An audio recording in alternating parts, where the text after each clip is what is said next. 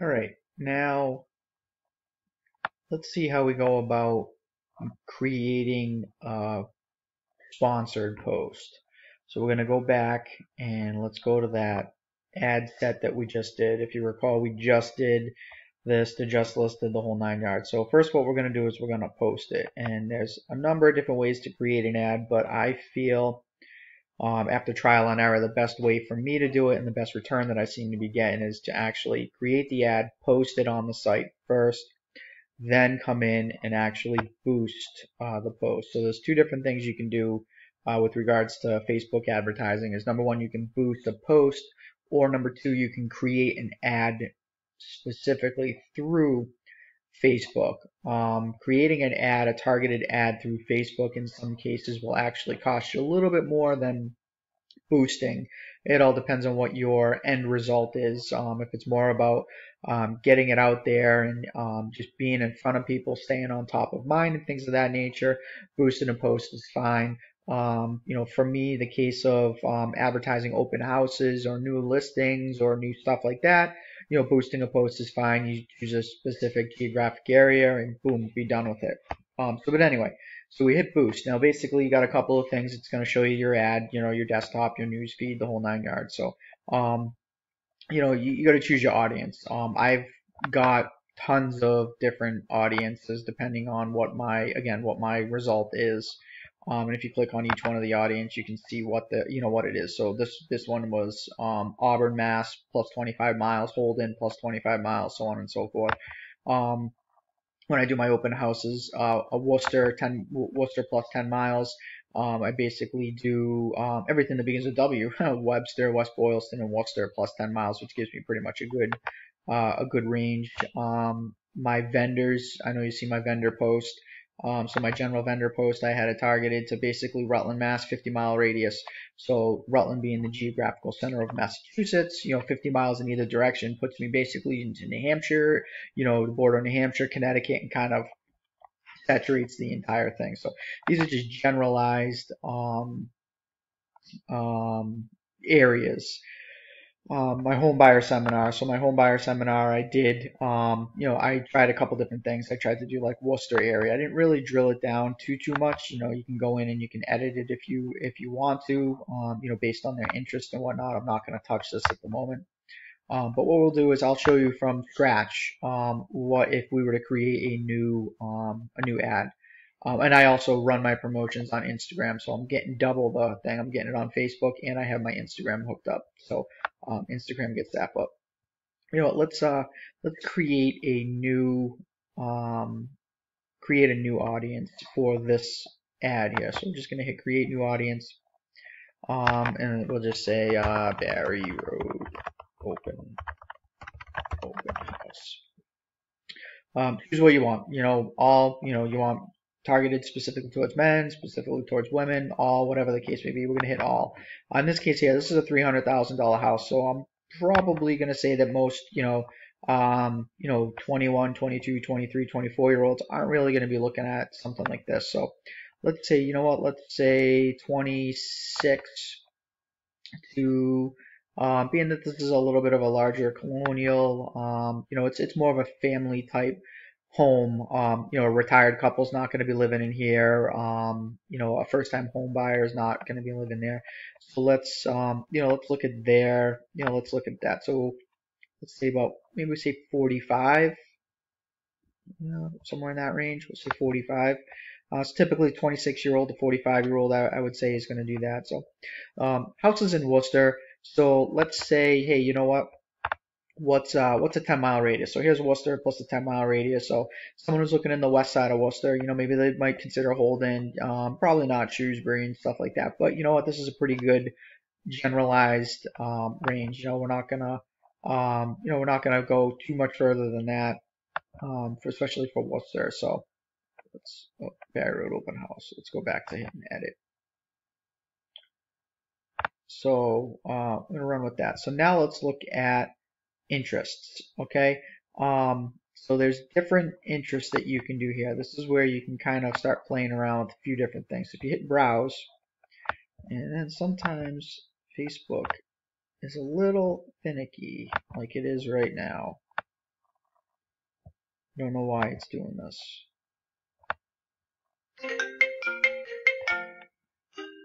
So uh, as you can see in your um, in your categories, you have business and industry, entertainment, family relationships, fitness and wellness, food and drink, hobbies, activities, things like that. So we can say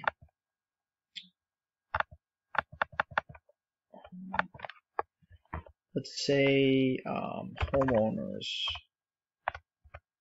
You know what? Let's try real estate.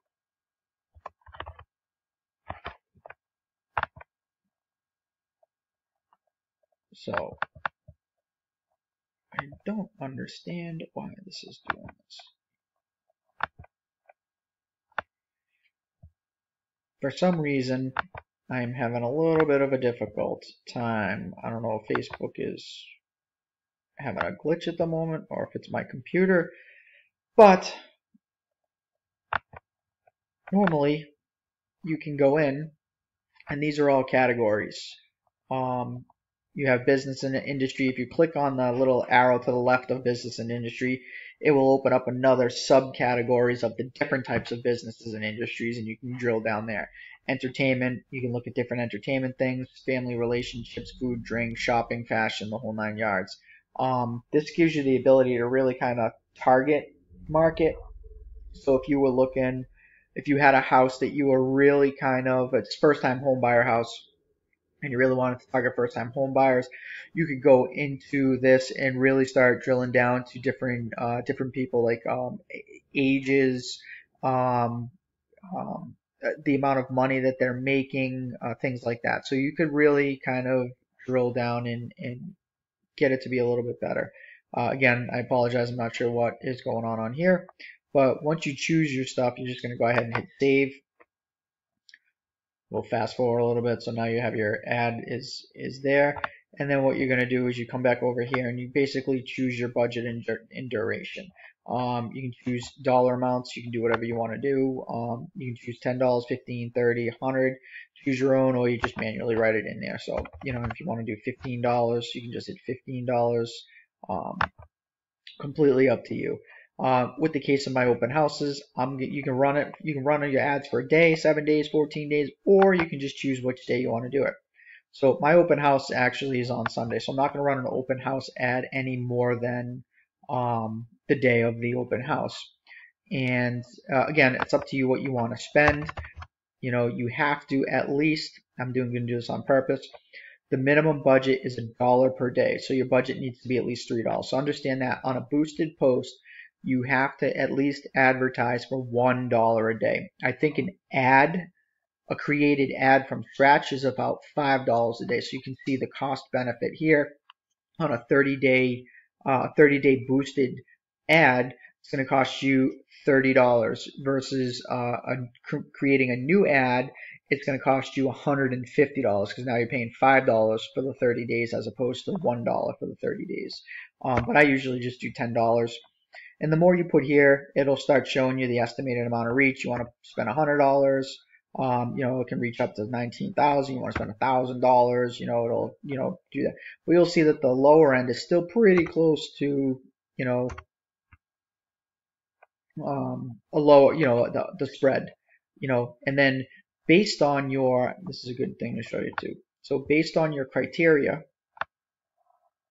that you have here. In this case, it's Worcester 10 miles age bracket. If you started to go, again, drill down a little bit further, it will start showing you how many people,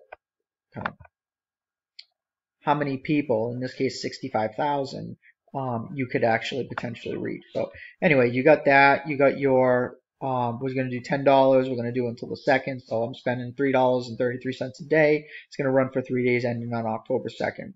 Um, that's really all you need to do uh, aside of making sure that you have a payment method set up in there.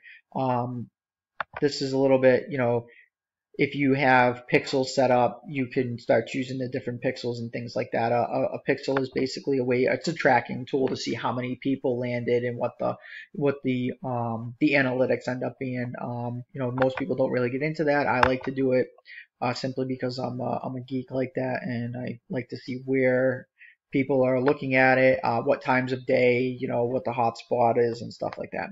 once that's all set, it's as simple as hitting boost and submitting your promotion.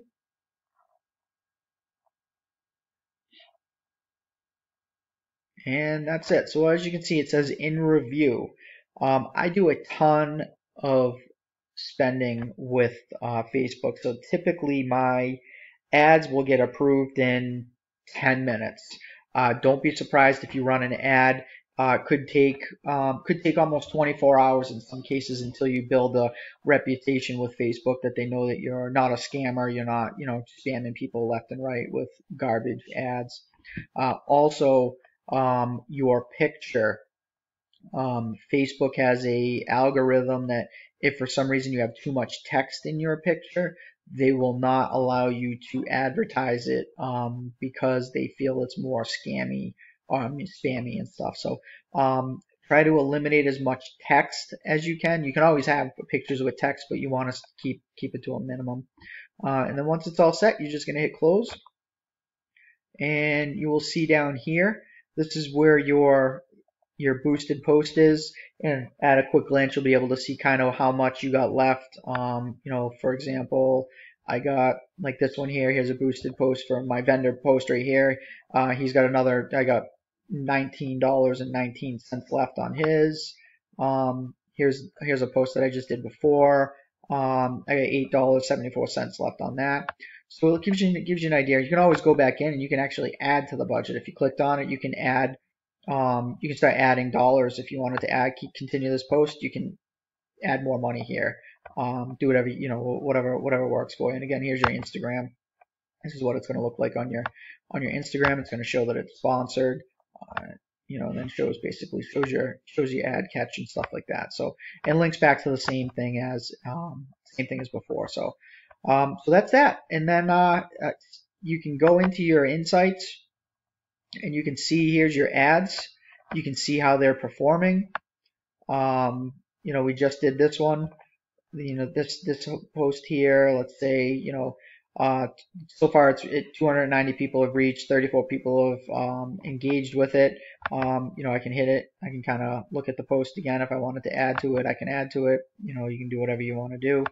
Um, and then here gives you a little bit more uh, breakdown of your your reach. So like this one with my vendor partner, 50 people have reached it organically, 136 people have reached it paid. Um, you know, and again, it's just a lot of different little things that you can kind of, you know, that you can kind of take a look at. So hopefully that helps a little bit. Um, and if you got any questions, give me a call and I'll talk to you guys soon. Take care. Bye.